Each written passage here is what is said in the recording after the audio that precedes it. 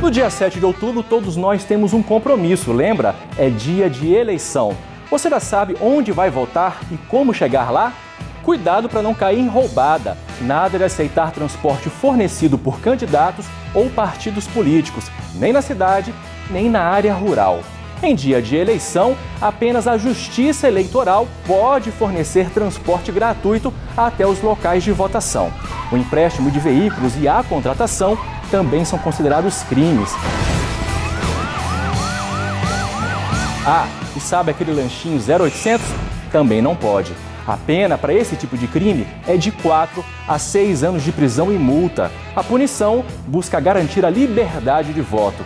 O MPF está de olho. E você, viu alguma irregularidade?